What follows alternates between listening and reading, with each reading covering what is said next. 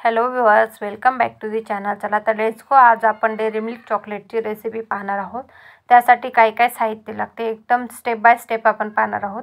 हे पा तीन टेबलस्पून आपण कोको पावडर घेतले. त्यानंतर पाच टेबल्स पाच टेबलस्पून मिल्क पावडर तीन टेबलस्पून पावडर शुगर थोडंसं एक कप दूध आणि एक टेबलस्पून तूप लागणार आहे. त्यानंतर आपण इथं चॉकलेट मोड घेतले आहे. हे आहे चॉ प्लॅस्टिकचं चॉ चॉकलेट मोड आहे आणि आईस क्यूबचं मोड आहे. हे आपण याच्यामध्ये चॉकलेट बनवणार आहोत. याच्या या सर्व पद्धतीने. आणि हे पहा याच्यामध्ये आपण डबल बॉइलिंग करून आपण चॉकलेटची प्रोसेस करणार आहोत.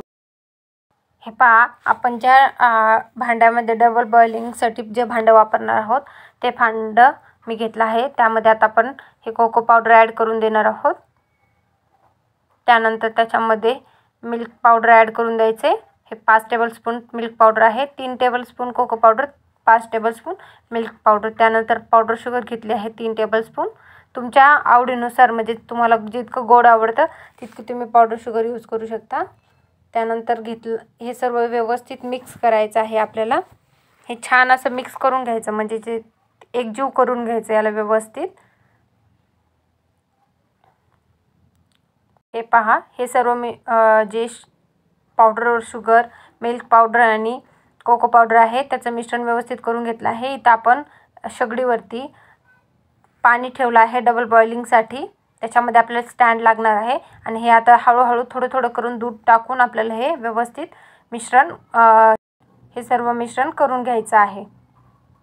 हे पहा. एक टेबलस्पून मी तूप म्हणजे घी जे आहे ते गावरान तूप आहे ते ॲड करून देत आहे आणि आता याला व्यवस्थित मिक्स करायचं आणि हे तूप व्यवस्थित त्याच्यामध्ये मिक्स झाल्यानंतर आपल्याला त्याच्यामध्ये हळूहळू करून दूध ॲड करायचं आहे. थोडं थोडं करून दूध ॲड करायचं. व्यवस्थित मिक्स करून घेते मी याला.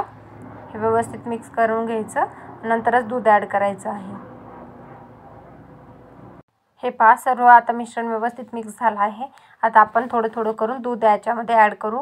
आणि जे आपण चॉकलेटची कन्सिस्टन्सी आपण ज्या केकची कन्सिस्टन्सी जशी बनवतो तशी आपल्याला ही चॉकलेटची पण कन्सिस्टन्सी बनवायची आहे. खूप घट्ट सरळी नाही बनवायची आणि खूप पातळही नाही बनवायची. हळूहळू करून मी दूध ॲड करते आणि व्यवस्थित मिक्स करून घेते याला.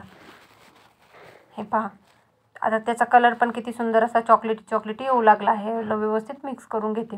आणि हळूहळू दूध ॲड करून व्यवस्थित फेटायचं आहे याला. त्याच्यामध्ये ज्या लंग्स आहेत म्हणजे गाठी त्या बनल्या नाही पाहिजे. व्यवस्थित छान असं फेटून घ्यायचं. पाहू शकता तुम्ही किती छान असा चॉकलेटी चॉकलेटी कलर आला आहे याला.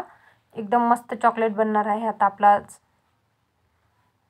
हे पहा आता एकदम मस्त असं मिश्रण झालं आहे. त्याची कन्सिस्टन्सी पण खूप छान आली आहे. म्हणजे त्याचा जो जाडसरपणा म्हणजे खूप पातळीने आणि खूप घट्टही नाही बनवलं तुम्हाला दाखवते मी. हे पहा अशा प्रकारचं हे मिश्रण बनवून घ्यायचं आहे. आता आपण ट्रेला तेल लावू आणि हे ट्रेमध्ये मोडमध्ये टाकून पाहू शकता हे डबल बॉइलिंग म्हणजे प्रोसेस जी आहे ती आपण त्याच्यामध्ये जो एक्स्ट्राचं ॲब्सॉर्ब करण्याचं पाणी वगैरे आहे दुधामधलं जे क्षार आहेत ते सर्व निघून जातं आणि चॉकलेटची टेस्ट खूप छान लागते. त्याच्यामुळं आता आपल्याला डबल बॉइलिंग करून घ्यायचं आहे. अशा प्रकारे सर्व चॉकलेट आता डबल बॉइलिंग करून घेतलं आहे. आता बऱ्यापैकी आपली ही प्रोसेस कंप्लीट झाली आहे. आता आपण ट्रेला तेल लावून घेणार आहोत. थोडंसं एकदम थोडंसं नॉर्मल तेल लावायचं म्हणजे चॉकलेट लवकरात लवकर निघून जाता.